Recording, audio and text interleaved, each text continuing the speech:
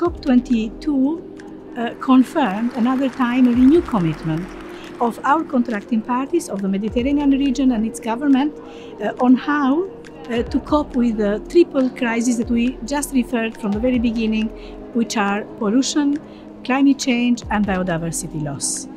Uh, the package is very interesting and very ambitious, I must say. I definitely the first one to be mentioned is the decision on uh, sulfur uh, oxides, uh, which will uh, put the Mediterranean in the avant-garde of the effort to reduce pollution from ships.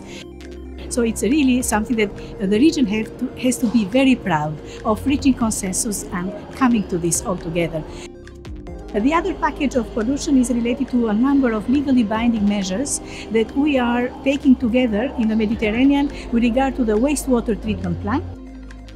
Uh, the third dimension of the decision taken by this meeting of the contracting parties is related to the green growth. All those measures together, uh, we believe that they, they are the right response also considering the COVID pandemic and we believe that they will contribute substantively uh, to, the, uh, to put the region in the path of sustainability and economic recovery.